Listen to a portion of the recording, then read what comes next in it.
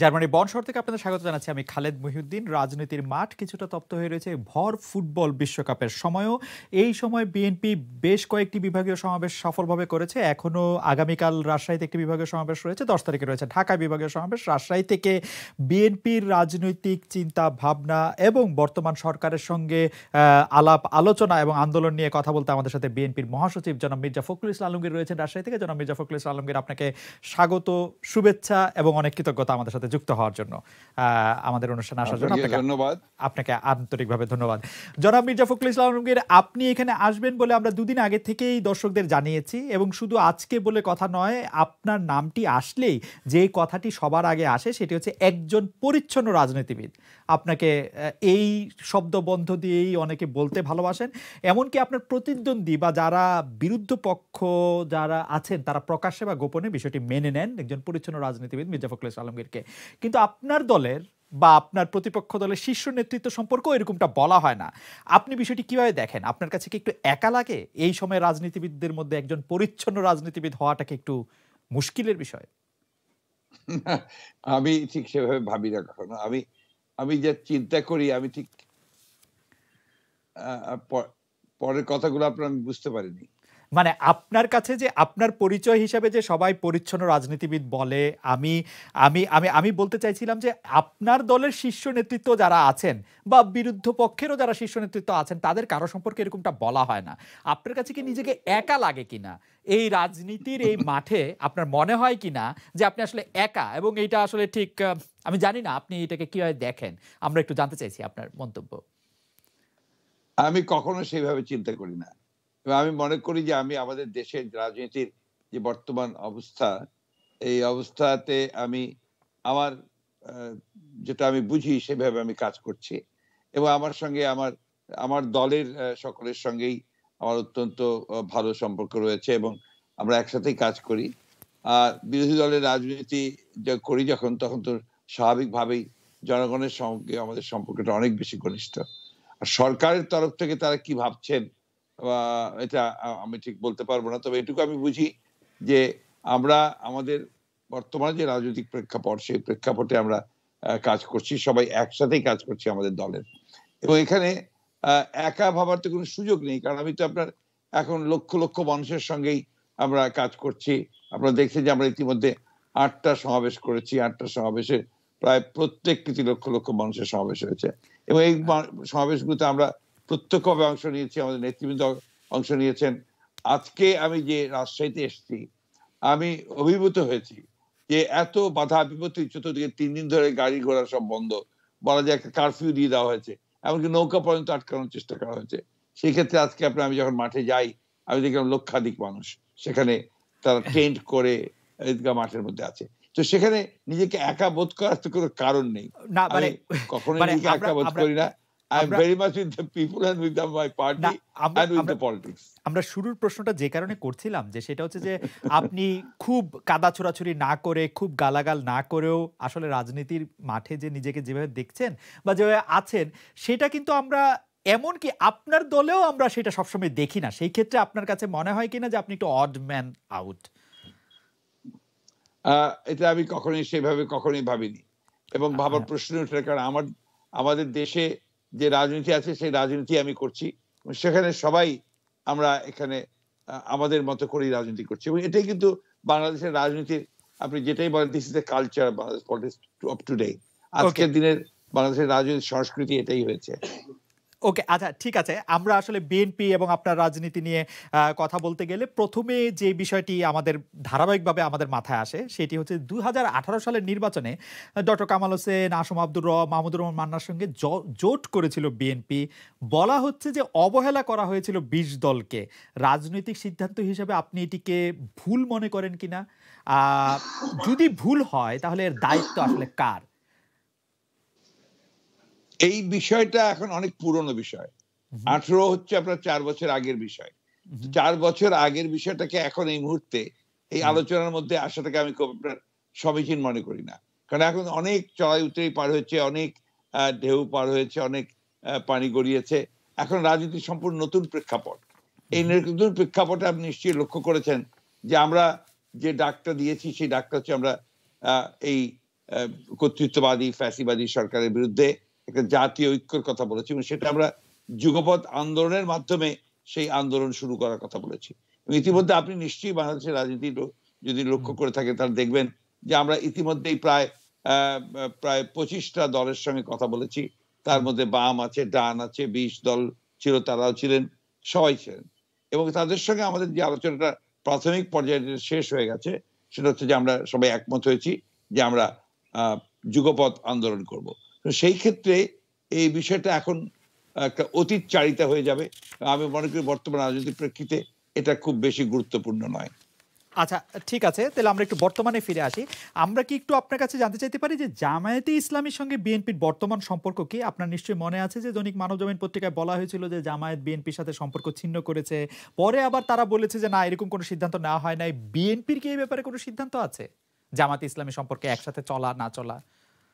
আপনারা গত চার বছর ধরে নিশ্চয়ই লক্ষ্য করেছেন যে আমরা গত চার বছর শুধু নয়, তারও আগে থেকে ইনফ্যাক্ট আপনার দু হাজার পনেরো সাল থেকেই আমরা কিন্তু আপনার আমাদের যে বিশ দলীয় জোটের যে অ্যাক্টিভিটিস সেটা প্রায় বন্ধ, বন্ধই ছিল আর কি।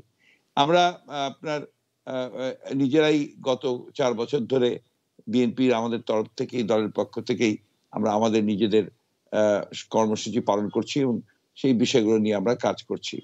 আপনারা নিশ্চয়ই লক্ষ্য করেছেন যে এখন যেটা আমরা করছি, এই কাটার মধ্যে আমরা যে সমস্ত দলগুলোর সাথে কথা বলেছি, সেই সরকারের কথা আপনারা সবাই জানেন, আমরা সেইভাবে কাজ করছি।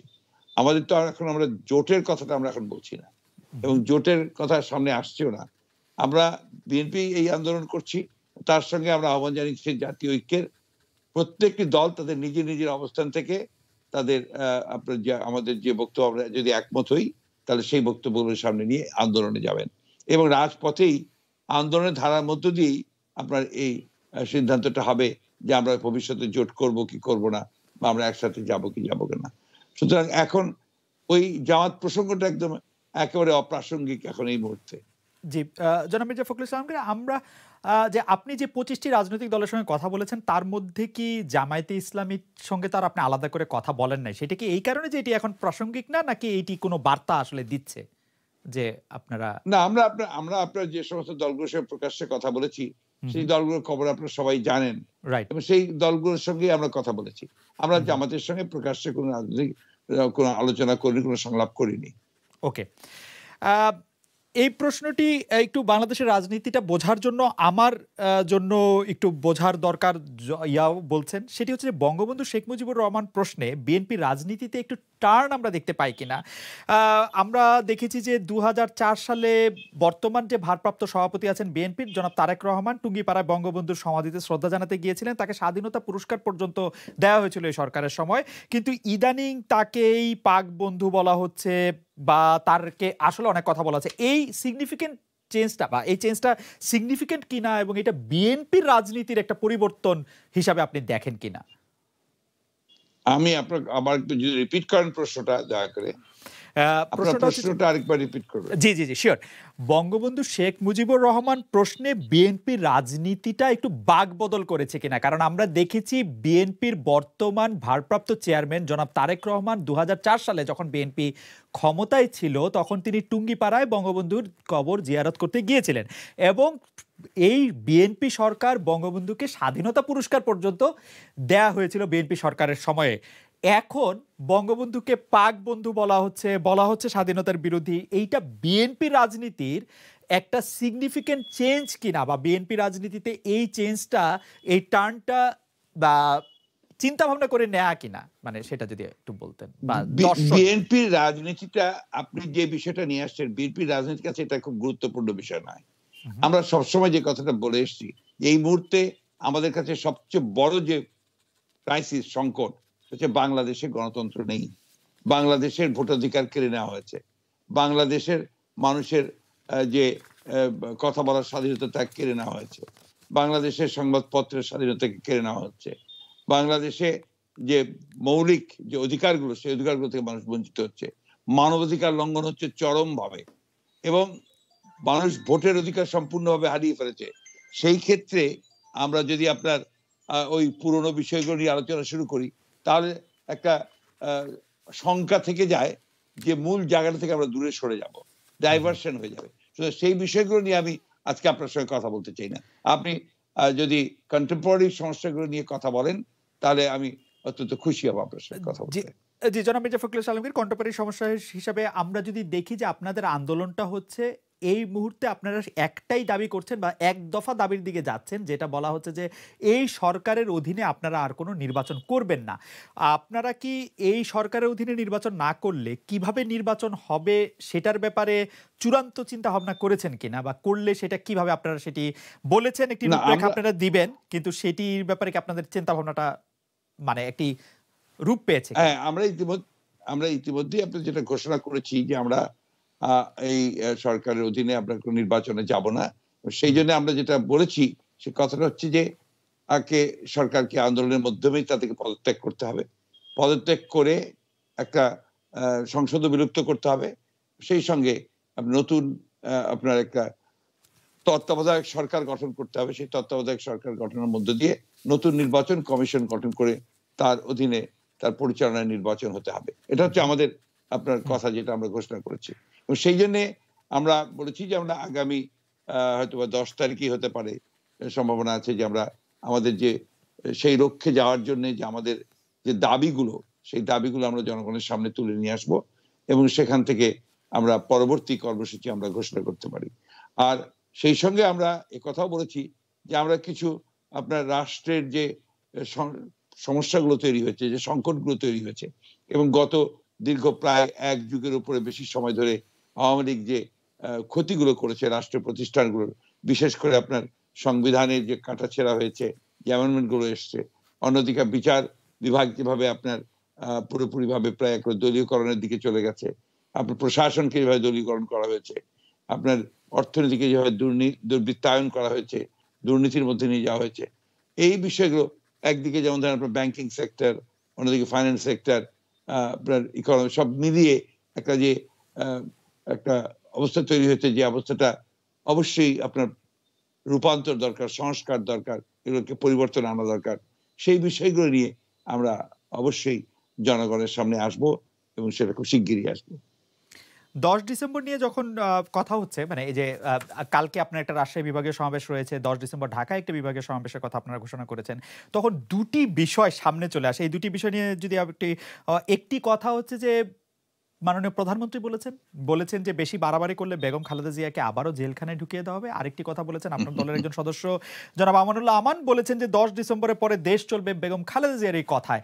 এই দুটি বিষয়কে যদি আপনার সামনে আনা হয়, আপনার মন্তব্য আমরা একটু শুনতে চাইব যে দশ ডিসেম্বরে আসলে কি হতে যাচ্ছে? দশ ডিসেম্বর ব্যাপারটাকে একটা আপনার দুর্ভাগ্যজনক ভাবে দশ ডিসেম্বর হচ্ছে আমরা আমাদের আর যে আটটা বিভাগীয় সমাবেশ হয়ে গেল কোন সমাবেশ হয়ে গেল। আগামীকাল যে আর হতে যাচ্ছে নয়টা দশ ডিসেম্বর যে ঢাকার বিভাগীয় সমাবেশ। এটা কোনো জাতীয় সমাবেশ নয় এটা আপনার খুব পরিষ্কার ধারণা থাকতে হবে আমাদের সকলের। এবং এই বিভাগীয় সমাবেশটা আমাদের কারণ লক্ষ্যটা কি ছিল? দাবিটা কি ছিল? আমরা ছিল আমাদের নিত্য প্রয়োজনীয় দ্রব্যাদি চাল ডাল তেল লবণের দাম কমানোর ব্যাপারে। আমাদের ছিল জ্বালানি তেলের দাম কমানোর ব্যাপারে। আমাদের ছিল বাইশে আগস্ট থেকে আমরা যে আন্দোলন শুরু করেছি সেই আন্দোলনে যে আমাদের আটজন আপনার শহীদ হয়েছে, তাদেরকে পুলিশ এবং আওয়ামী সন্ত্রাসী যে হত্যা করেছে, তাদের ওই হত্যার প্রতিবাদে দেশনেত্রী বেগম খালেদার মুক্তি এবং আপনার আমাদের নেতা তারেক রহমান সহ প্রায় পঁয়ত্রিশ লক্ষের উপরে মানুষের যে মিথ্যা মামলা, সেই প্রত্যাহারের দাবিতে আমরা এই আন্দোলনটা শুরু করেছি। এটা ঢাকায় সেই দশ তারিখে এটা আপনার সেই প্রথম ধাপের আন্দোলন শেষ হবে। দ্বিতীয় ধাপের আন্দোলন যেটা শুরু হবে, সেটা হচ্ছে ওইখানেই আমরা আপনার এই সরকারের যে কীভাবে সরতে হবে তাকে এই সরকারকে চলে যেতে হবে এবং নির্বাচন দিতে হবে। যেটা আমাদের মূল দাবি যে আপনার আমাদের তত্ত্বাবধায়ক সরকারের অধীনে নির্বাচন সেটাকে আমরা সামনে নিয়ে আসতে চাই। সুতরাং এটাই হচ্ছে দশ তারিখের ব্যাপার। দশ তারিখকে আপনার পলিটিক্যাল রেটোরিক্স অনেক থাকে। আমানুর রহমান সাহেবের কথাই বলুন বা আপনার শেখ হাসিনার কথাই বলুন এই সমস্ত পলিটিক্যাল রেটোরিক্স দিয়ে কিন্তু আপনার থাকে। বাংলাদেশের পলিটিক্স এটা আছে সব দেশের পলিটিক্সেই আছে। কিন্তু আমাদের এখানে মূল জিনিসটা যেটা সেটা হচ্ছে যে আমরা কিন্তু আপনার দশ তারিখে একটা নতুন একটা নতুন আপনার স্বপ্ন নতুন একটা দাবি নতুন আপনার একটা প্রসঙ্গ সামনে নিয়ে আসছি। পলিটিক্যাল রেটরিকের কথা বলছিলেন সেজন্য আমি আপনাকে মানে বাইশ নভেম্বর নয়াপল্টনে আপনি নিজেই এই কথা বলেছেন এখন যে কথা বললেন সেই কথারই কাছাকাছি কথা যে জ্বালানি ও দ্রব্যমূল্যের প্রতি বৃদ্ধির প্রতিবাদে আপনারা সমাবেশ করছেন কিন্তু আসল ঘোষণা দেবেন দশ ডিসেম্বর। আপনি বলেছেন আমি আপনাকে কোট করছি সেদিন থেকে শুরু হবে এক দফার আন্দোলন এক দফা এক দাবি এখানে কোনো কম্প্রোমাইজ নাই। সেই এক দফা এক দাবিটার কথাই কি আপনি এখন বলছেন যে এখন সরকারকে পদত্যাগ করতে হবে? আপনাকে একটা আলটিমেটাম দেবেন? আপনারা কি একটা। টাইম ঘোষণা করবেন যে আমরা আমরা আমরা আপনার আমাদের দাবিগুলো তুলে ধরব এবং সেখানে নিশ্চয়ই আমরা একটা কর্মসূচি দেবো। সেই কর্মসূচির মধ্যেই পুরোটাই আপনার বিস্তারিত বর্ণনা থাকবে। সেই কর্মসূচির মধ্যে পুরোটা বিস্তারিত বর্ণনা থাকবে। দশ ডিসেম্বর নিয়ে আসলে কথা এই সময়ে রাজনীতি নিয়ে কথা বলে কথা চলতেই থাকবে। যে কথাটি হচ্ছে জায়গা নিয়ে, যে আপনি বারবার বলছেন সোহরার্দি উদ্যান নয়, নয়া পল্টনেই সমাবেশ দিতে হবে, উদ্যান বা মাঠের বদলে সড়কে আপনারা কেন কমফোর্টেবল কারণ আপনি নিজে বলছেন আমরা যেখানে কমফোর্টেবল সেখানে আপনারা করতে চাই। পল্টন থেকে রমনা, শাহবাগে তো খুব বেশি দূরে না এক কথা। স্বরাষ্ট্রমন্ত্রী নিজে বলছেন যে বিএনপি আমাদের কাছে হয় মানিক মিয়া, অথবা সোরারদি উদ্যান। দুটির একটি চেয়েছিল আমরা বা এই দুটি চেয়েছিল আমরা সোরারদি উদ্যানকে দেওয়ার ব্যাপারে ঠিক করেছি। আপনারা সোরারদি উদ্যানের ব্যাপারে আপনাদের মূল আপত্তিটা আসলে কোথায়? মানে পছন্দের ব্যাপারটা বাদ দিলে এটা হতে পারে যে আপনার পছন্দ সেই জায়গায় মানে যুক্তিটা যদি আমাদেরকে একটু বলেন। না আমি আমি যুক্তিটাই বলছি আপনার জি। আমাদের আপনার ঢাকাতে দুর্ভাগ্যজনক ভাবে আওয়ামী লীগ ক্ষমতায় আসার পর থেকে আপনার আগেও যখন ছিয়ানব্বই সালে এসছে তখন থেকে ঢাকায় যে জনসভা করার জায়গাগুলো ছিল, সেই জায়গাগুলো ছিল আপনার যেমন পল- পল্টন ময়দান ছিল একটা খুব আপনার জনপ্রিয় জায়গা যেখানে আপনার স- সভা সমাবেশ করা যেত, যথেষ্ট জায়গা ছিল। সেটাকেও আপনার স্টেডিয়াম করে বিভিন্নভাবে স্ট্রাকচার করে সেটা বন্ধ করে দেওয়া হয়েছে। ছোট একটা জায়গা ছিল আপনার এটা হচ্ছে আপনার সেক্রেটারিয়েটের পূর্ব দিকে। এখানে আপনার একটা জায়গা ছিল, খুব ছোট্ট জায়গা। ছোট ছোট সভা সেখানে করা যেত। সেটাও আপনার বন্ধ করে ফেলা হয়েছে। এরপরে মানিক মিয়া অ্যাভিনিউতে ছিল বিশাল একটা, আপনার জায়গা, সেটাকে আইল্যান্ড করে সেটাকে দ্বিখণ্ডিত করেছে। ঢাকা শহরে এখন সারওয়ার্দী উদ্যানের কথা বলা হয়। সারওয়ার্দী উদ্যান তো এখন আর জনসভা করার মতো জায়গা নেই। সেখানে এখন অসংখ্য স্ট্রাকচার তৈরি করা হয়েছে। আপনার সেই স্ট্রাকচারের মধ্যে একটা আপনার পার্মানেন্ট স্ট্রাকচার আছে, আওয়ামী লীগের মঞ্চ আছে, অসংখ্য গাছ সেখানে। যার ফলে জনসভা করার জন্য যে উন্মুক্ত স্থান দরকার, সেই উন্মুক্ত স্থানটা সেখানে পাওয়া যায় না। এটা হচ্ছে অত্যন্ত মানে জরুরি একটা বিষয় জনসভার জন্য। তো সেই কারণে আমরা আপনার এই নয়া পল্টনের এখানে কিন্তু আপনার অনেক আগে থেকেই এখানে সমাবেশ করে আসছি। যখন দেশনেত্রী বেগম খালেদা জিয়া বিরোধী দলের নেতা ছিলেন, তখন এই নয়া পল্টনে মহা সমাবেশ হয়েছে। একেবারে বিশালভাবে দেশনেত্রী বেগম খালেদা জিয়া সেখানে প্রধান অতিথি ছিলেন, একটা না কয়েকটা হয়েছে। আমরা সপ্তাহে একটা দুটা করে প্রত্যেক দিনই প্রায় করছি আপনার নয়াপল্টনে এইখানে আপনার এটা করা হয়।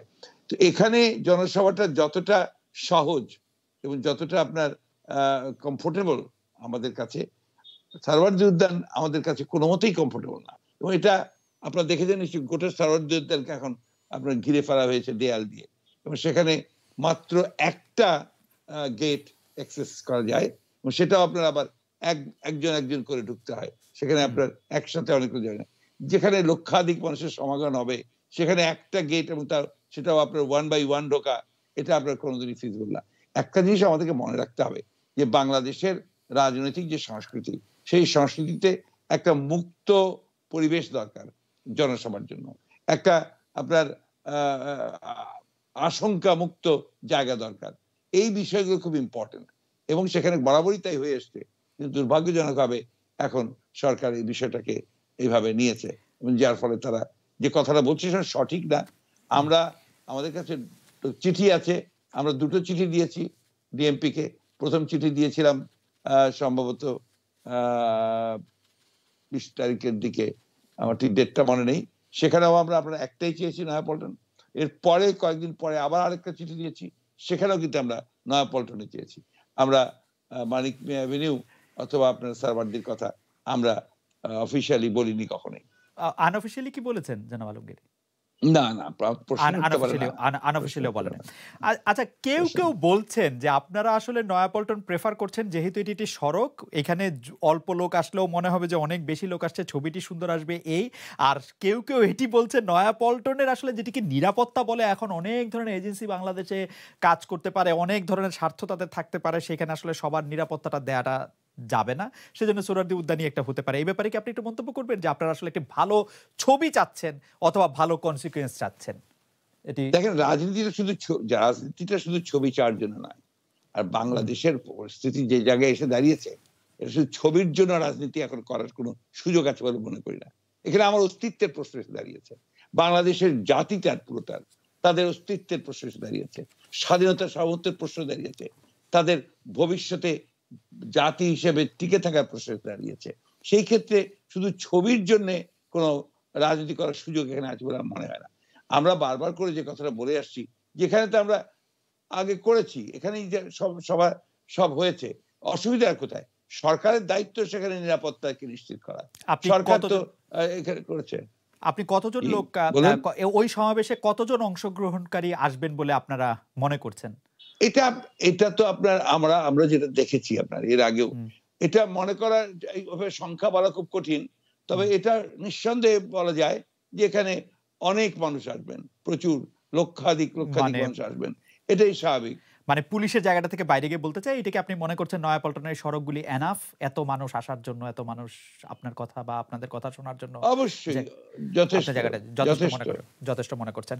আমরা একটু দর্শকদের কাছে প্রশ্ন করেছিলাম আপনার আশা এবং সোহরাওয়ার্দী উদ্যানে জনসমাবেশকে সামনে রেখে যে বিএনপির সমাবেশ সোহরাওয়ার্দী উদ্যানকে এই উদ্যানেই করতে হবে?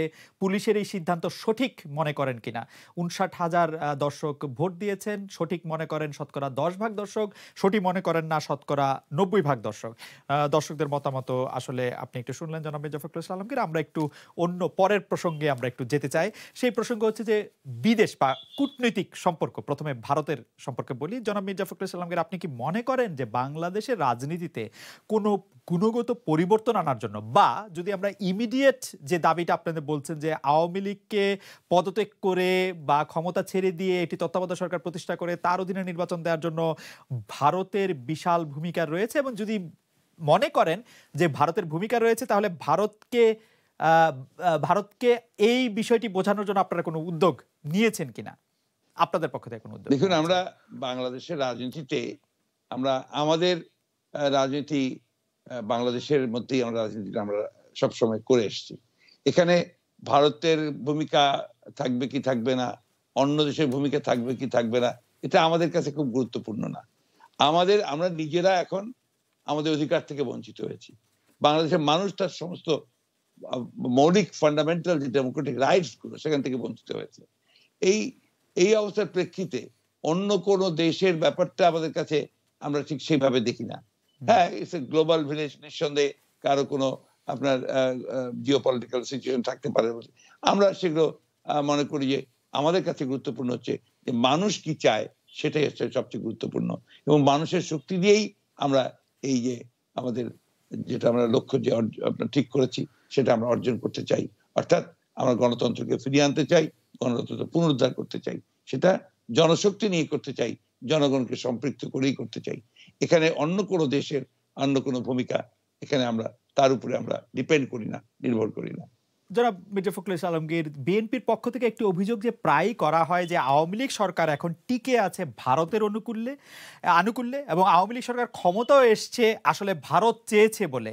বিএনপির পক্ষ থেকে বা বিএনপি সভায় সমাবেশে মিছিলে বা যারা বিএনপি সাপোর্ট করেন তারা এই কথাটা প্রায়ই বলে থাকেন, যদি ভারত সরকারের আনুকূল্যেই এই সরকার ক্ষমতা এসে থাকে, তাহলে তো ভারত সরকারের একটু প্রতিকূলও হতে হবে আওয়ামী লীগ সরকারকে ক্ষমতা থেকে যাওয়ার জন্য। এটা মানে সমীকরণটা কি এরকমই না? বিষয়টা হচ্ছে যে ভারতের উপরে আওয়ামী সরকার টিকে আছে এই কথাগুলো আমরা কখনো বলি না। তবে তাদের পররাষ্ট্রমন্ত্রী আব্দুল মোমেন সাহেব, তিনি নিজেই বলেছেন যে তিনি অনুরোধ করেছেন যে তারা যেন আওয়ামী লীগকে ক্ষমতায় টিকে রাখার জন্য কাজ করে। এটা তারা জবাব দেবেন আমি ঠিক সেটা জবাব দিতে পারব না। তবে আমরা যেটা মনে করি সেটা হচ্ছে যে, ভারত দুর্ভাগ্যজনকভাবে এই রাষ্ট্র পরিচালনায় সম্পূর্ণ ব্যর্থ হয়েছে এবং আপনার আহ, জনগণের যে অধিকার সেগুলোকে তারা হরণ করে একদলীয় একটা শাসন ব্যবস্থা প্রতিষ্ঠা করার জন্য তারা এই দেশে একটা কর্তৃত্ববাদী সরকার প্রতিষ্ঠা করেছে এবং একটা প্যাসিস্ট কায়দায় নির্যাতন নিপীড়নের মধ্য দিয়ে বিরোধী দলের যে সমস্ত ভিন্ন মত সেগুলোকে তারা দমন করতে চায়।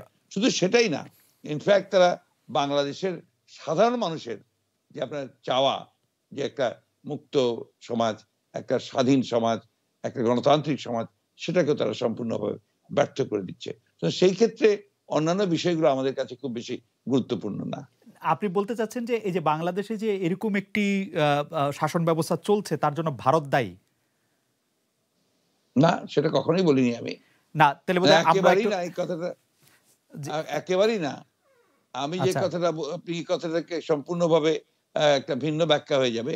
আমি যেটা বলতে চেয়েছি সেটা নিশ্চয়ই হয়তো আপনি শুনতে ভুল করে থাকবেন আমি জানি যে ভারত ভারতের সঙ্গে সম্পর্কের ব্যাপারটা আমরা বলিনি।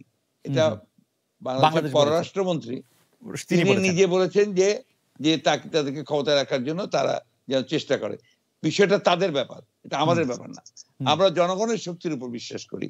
আমরা জনগণকে নিয়েই এই আন্দোলনে নেমেছি। আমরা মনে করি যে জনগণ তার নিজের স্বার্থে ঠিক সত্তর সালে, একাত্তর সালে, নব্বই সালে যেভাবে জনগণকে সঙ্গে নিয়ে বিজয়গুলো অর্জন করেছিল, ঠিক একইভাবে এখনও বাংলাদেশ, অবশ্যই বাংলাদেশের জনগণ তার গণতন্ত্রকে ফিরিয়ে নিতে, তার অধিকারকে আপনার পুরোপুরিভাবে ফিরে পেতে, ভোটের অধিকার ফিরে পেতে মানবাধিকারগুলোকে রক্ষা করার জন্য, বাংলাদেশের স্বাধীনতা সমতিকে রক্ষা করার জন্য, একটা মুক্ত গণতান্ত্রিক সমাজ প্রতিষ্ঠা করার জন্য জনগণই কাজ করবে। সম্প্রতি মানে আরও একটি কূটনৈতিক প্রশ্ন এবার একটু অন্য দেশ নিয়ে ঢাকাস্থ বেশ কয়েকজন পশ্চিমা রাষ্ট্রদূতের সঙ্গে বিএনপির বৈঠক হয়েছে। জাপানের রাষ্ট্রদূত বাংলাদেশে আগের নির্বাচনের সমালোচনা করেছেন। প্রধানমন্ত্রী শেখ হাসিনার জাপান সফর স্থগিত হয়েছে। এগুলি বিএনপির কূটনৈতিক সাফল্য মনে করেন কিনা সে ব্যাপারটা একটু বলবেন কিনা। আর পাশাপাশি আপনি একদম স্পষ্ট করেছেন যে ভারত, আপনি জনগণকে সাথে নিয়েই বাংলাদেশের আন্দোলন সামনে নিয়ে যেতে চান, বিএনপি যেতে চায়। ভারতের সাথে আপনাদের বৈঠক, আলোচনা চলছে কিনা, হবে কিনা, এ সেই ব্যাপারটাও যদি একটু বলেন। প্রথমে পশ্চিমা রাষ্ট্রদূতদের সঙ্গে, তারপরে ভারতের প্রসঙ্গে যদি আবার একটু বলেন। আপনার বিদেশি মিশনগুলো, তারা তাদের স্বার্থেই, তাদের কাজের রুটিন অনুযায়ী, তারা কিন্তু বাংলাদেশের শুধু নয়, সব দেশেরই বিভিন্ন রাজনৈতিক দলগুলোর সঙ্গে তারা আলোচনা করে এবং তাদের পরস্পর মতামত জানতে চায়। যেহেতু সামনে নির্বাচন ঘনিয়ে আসছে, আপনার বিশ্বের গণতান্ত্রিক দেশগুলোর একটা ইন্টারেস্ট আছে যে বাংলাদেশে কীভাবে আপনার নির্বাচন হবে। এবং যেহেতু আমরা নির্বাচনে যাব না বলেছি যে আমরা আমেরিকা সরকার থাকলে এই সরকার থাকলে আমরা নির্বাচনে যাব না এবং আপনার তত্ত্বাবধায়ক সরকার ছাড়া আমরা নির্বাচনে যাব না। সুতরাং তাদের এই জায়গায় ইন্টারেস্ট আরও বেড়েছে। কারণ বাংলাদেশে তারা একটা অবাধ, সুষ্ঠু, অংশগ্রহণ মূলক একটা নির্বাচন দেখতে চায় পার্টিসিপেটিভ নির্বাচন দেখতে চায় এবং সেটা সকলের কাছে গ্রহণযোগ্য হিসেবে দেখতে চাই। এই জন্যে যে দে আর ডেভেলপমেন্ট পার্টনার্স তারা আপনার আমাদের বিভিন্ন উন্নয়ন জড়িত আছে। তাছাড়া যেহেতু আপনার এসে গ্লোবাল ভিলেজ সেই কারণে তারা এটা দেখতে চায়। তো সেই কারণে তারা তাদের নিজেদের প্রয়োজনেই আমাদের সঙ্গে কথা বলে। আমরাও এটা অনেক দিনের পুরনো আপনার প্রচলিত নিয়ম যে বিভিন্ন মিশনগুলোর সঙ্গে আমরা আমাদের মত বিনিময় করি, আমরা আমাদের মতামতগুলো তুলে ধরি, তারাও তাদেরগুলো তুলে ধরে। এই পর্যন্তই। কিন্তু তার জন্যে আপনার বিদেশি মিশনগুলোর আপনার যে আপনার কোনো প্রভাব আমাদের উপরে পড়ে বলে আমি বিশ্বাস করি না।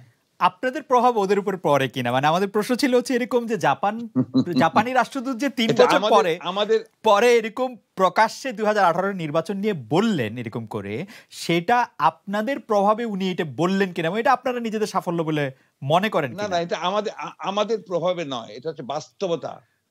বাংলাদেশের যে বাস্তবতা সেই বাস্তবতা তারা প্রতিদিন দেখছেন এবং সেই বাস্তবতা দেখছেন যে বাংলাদেশে যে দুটো নির্বাচন অতীতে হয়ে গেছে সে তো তার চোখের সামনেই দেখেছেন। কি- চোদ্দ সালের নির্বাচনে দেখেছেন যে এখানে আপনার কোনো আপনার একশো চুয়ান্ন জন বিনা প্রতিনিধিতায় নির্বাচিত হয়েছে।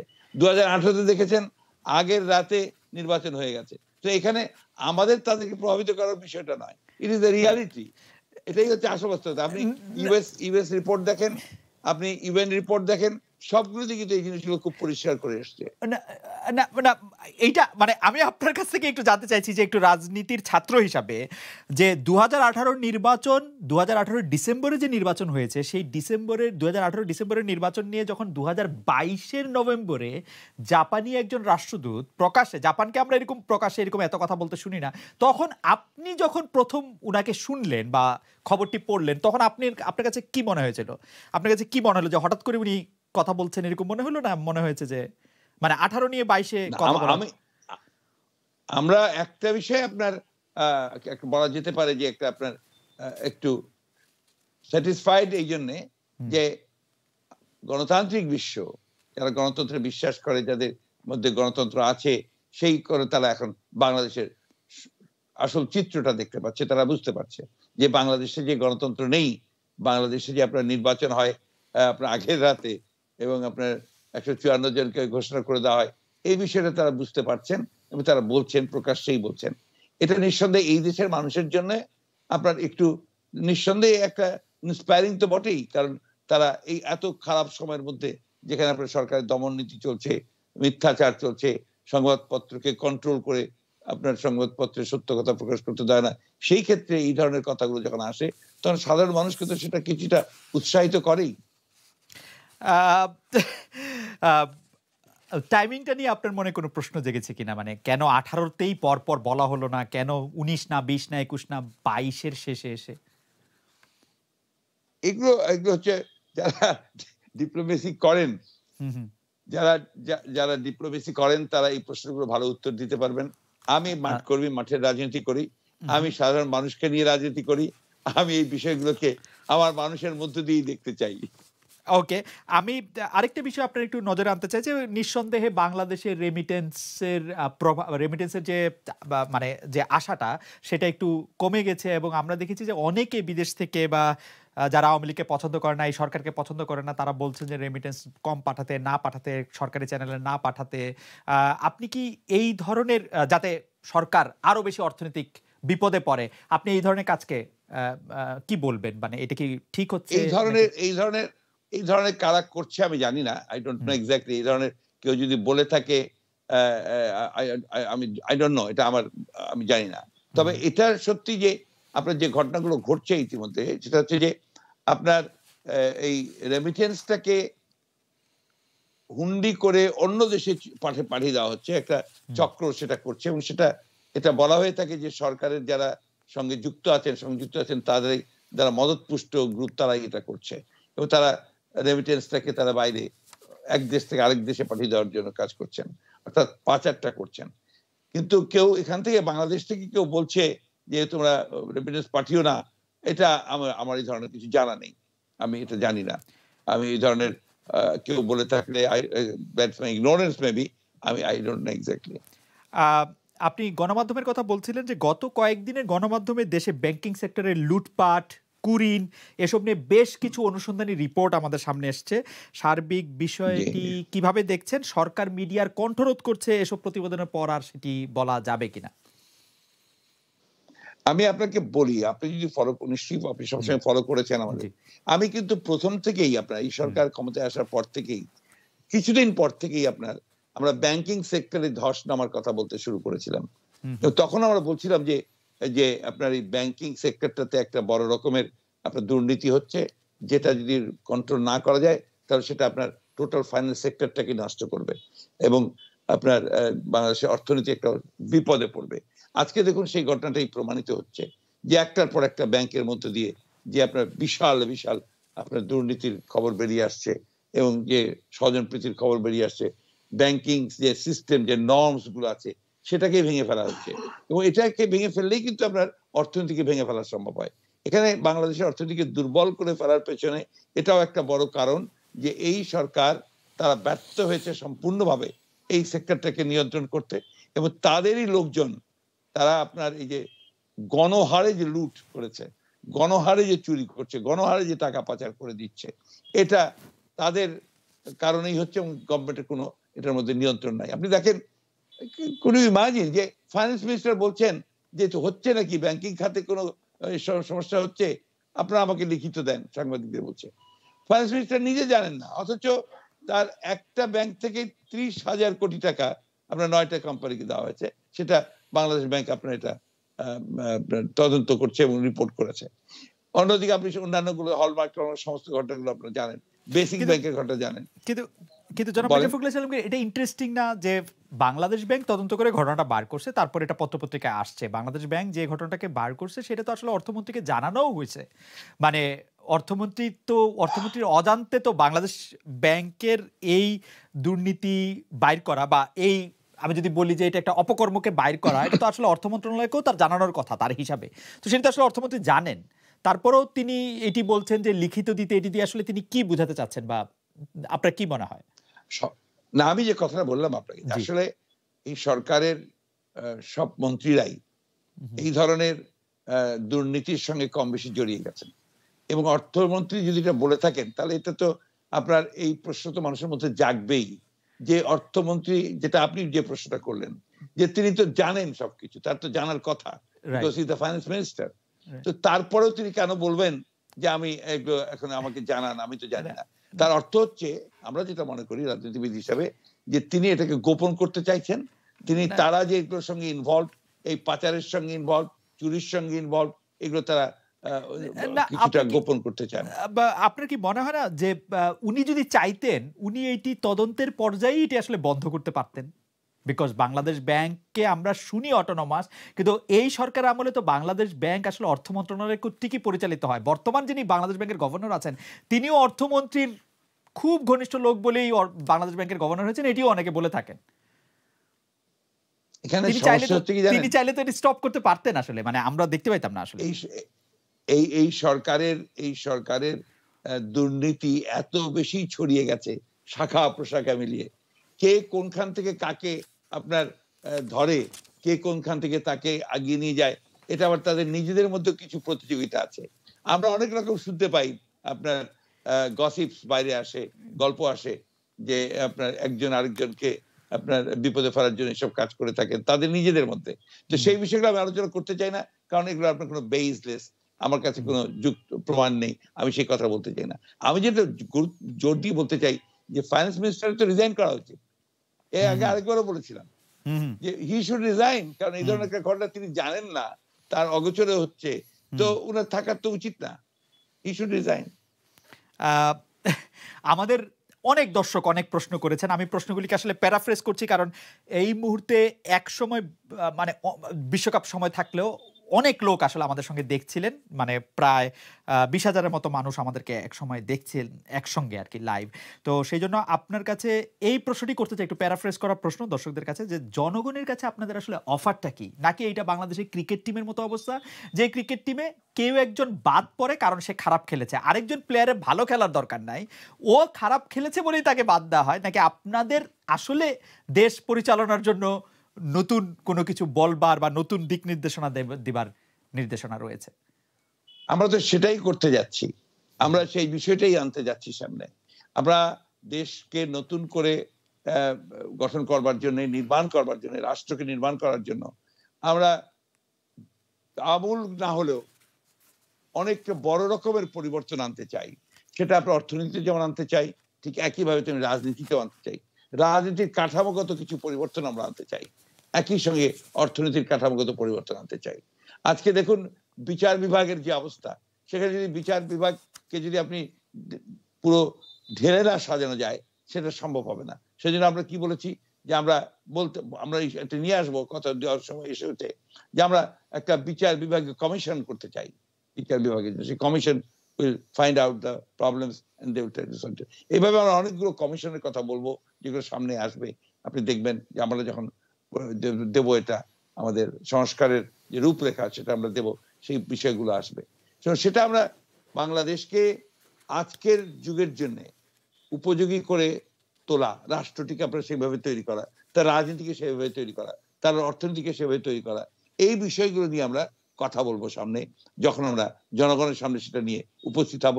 আমি আশা করি যে সেটা আপনাদেরও একটু ভালো লাগবে, কারণ আমরা কিছু নতুন নতুন বিষয় নিয়ে আসব যেটা প্রয়োজন এই মুহূর্তে বাংলাদেশের জন্য। একটা ছোট প্রশ্ন করতে পারি কিনা? বাংলাদেশের মানে রাষ্ট্র যারা সরকার ও রাজনীতি বিষয়ে গবেষণা করেন তারা গবেষণা করে দেখছেন যে আসলে এক ব্যক্তি কেন্দ্রিক বা একটি অফিস কেন্দ্রিক ক্ষমতাটা থাকার কারণে ক্ষমতার ভারসাম্য নষ্ট হচ্ছে। আহ, সেই জন্য মানে ক্ষমতার ভারসাম্য বজায় রাখার জন্য কোনো কারও ক্ষমতা অর্থাৎ প্রধানমন্ত্রীর ক্ষমতা বা প্রধান নির্বাহীর ক্ষমতা একটু কমিয়ে অন্য জায়গায় ক্ষমতা বাড়ানো জাতীয় সরকার করা ক্ষমতার বিকেন্দ্রীকরণ এসব বিষয়গুলি আপনাদের ভাবনায় রয়েছে কিনা? আপনি আপনি নিশ্চয়ই আপনি নিশ্চয়ই ইতিমধ্যেই জেনেছেন যে আমরা ভিশন টোয়েন্টি থার্টি আপনার একটা আমাদের ভিশন আমরা দু হাজার ষোলোতে আমরা দিয়েছিলাম।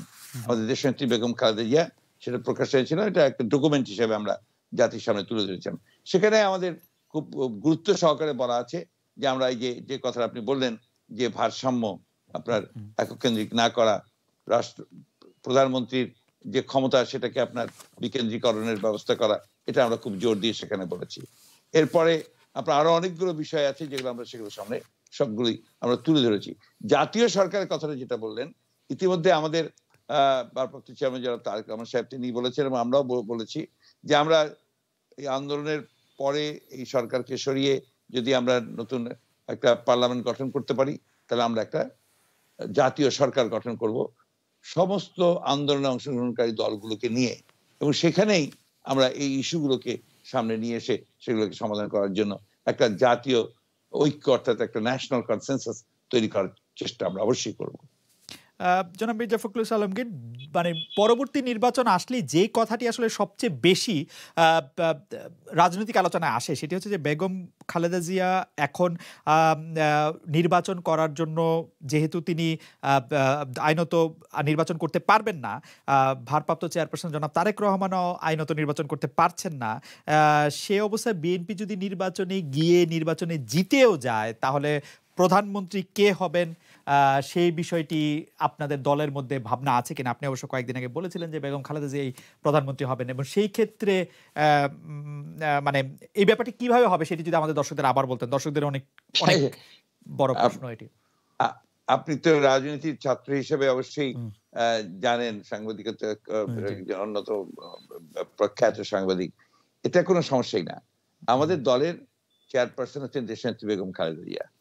আর তার বর্তমানে অর্থাৎ তিনি যখন থাকছেন না তার বর্তমানে হচ্ছে আমাদের ভারপ্রাপ্ত চেয়ারম্যান তারেক রহমান সাহেব। এটা আমরা যদি নির্বাচনে জয়লাভ করি তখন এটা কোনো সমস্যা থাকতেই পারে না। এটা আপনি খুব ভালো করে জানেন আমরাও জানি। সুতরাং আমাদের অবশ্যই আমাদের নেত্রী দেশনেত্রী বেগম খালেদা আমাদের প্রধানমন্ত্রী এবং তারা বর্তমানে তারেক রহমান সাহেব তার দায়িত্ব গ্রহণ করবেন। এই তো আপনার আমাদের আহ, একেবারে দলীয় সিদ্ধান্ত।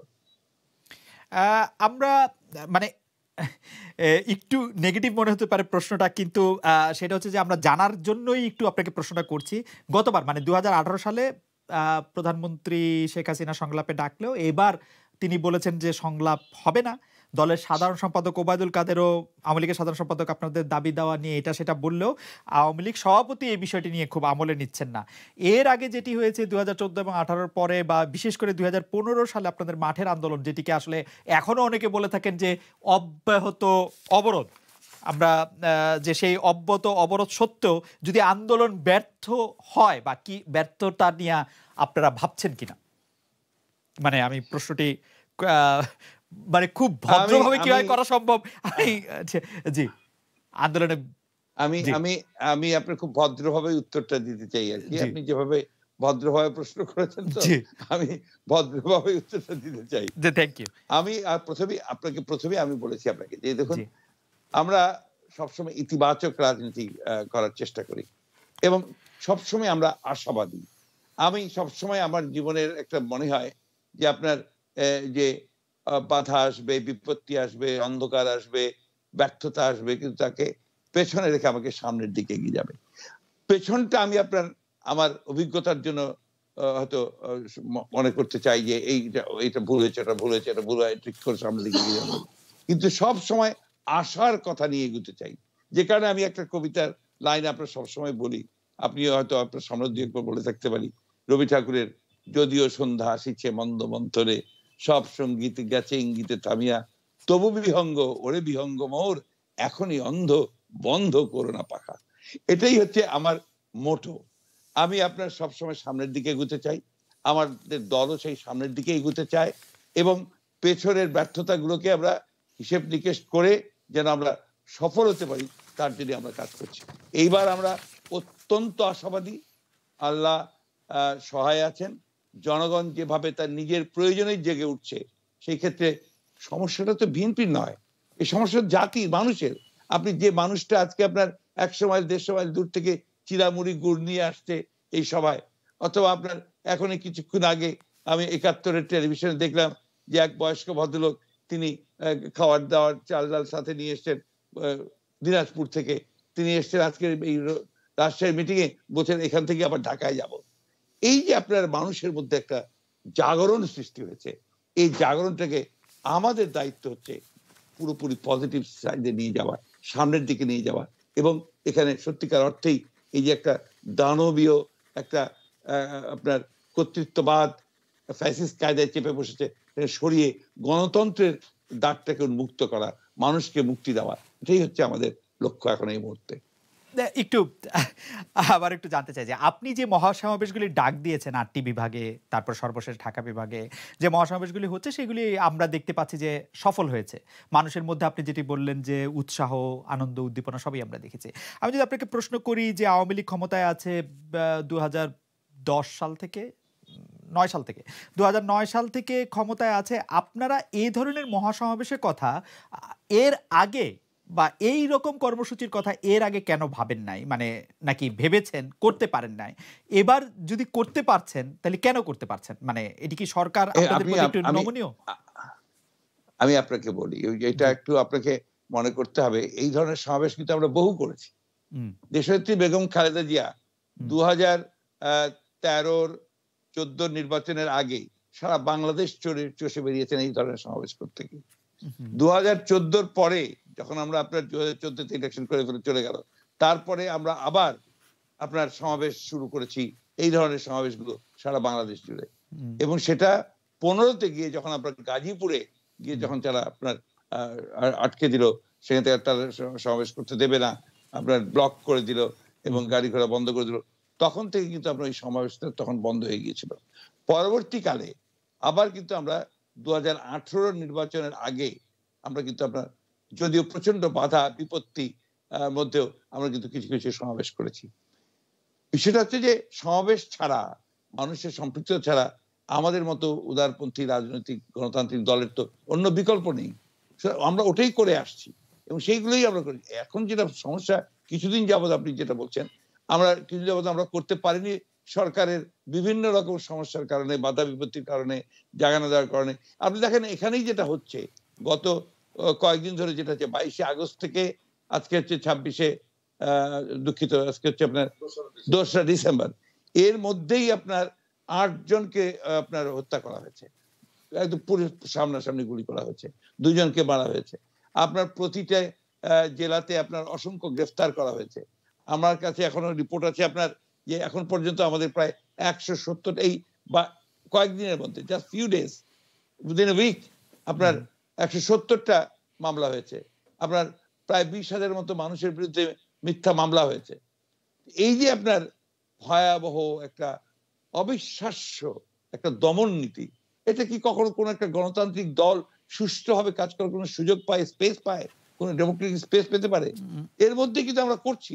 উইথ অল দিস আপনার দমন এবং অত্যাচার নির্যাতন নিপীড়নকে সহ্য করে আমরা কিন্তু পিছু পড়ে থাকিনি। আমরা আপনার প্রতি মুহূর্তে লড়াই করছি সংগ্রাম করছি। আমাদের চল্লিশ লক্ষ মানুষের বিরুদ্ধে মামলা।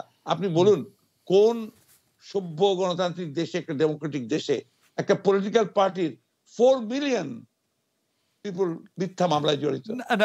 অনেকগুলি অনেকগুলি অনেকগুলি প্রশ্ন একটু করি যে প্রথম শেষ থেকে প্রশ্ন করি যে চল্লিশ লক্ষ আপনাদের কর্মীর বিরুদ্ধে মামলা নাকি যার বিরুদ্ধে মামলা হচ্ছে তাদেরকে আপনার আপনার কর্মী হিসেবে দাবি করছেন সেটি একটি। আর দ্বিতীয় হচ্ছে একেবারে ভুল একেবারেই ভুল ধারণা। এরা শুধু আমাদের আমাদের কর্মী বেশিরভাগ। আপনি জানেন না কীভাবে করা হচ্ছে এখন।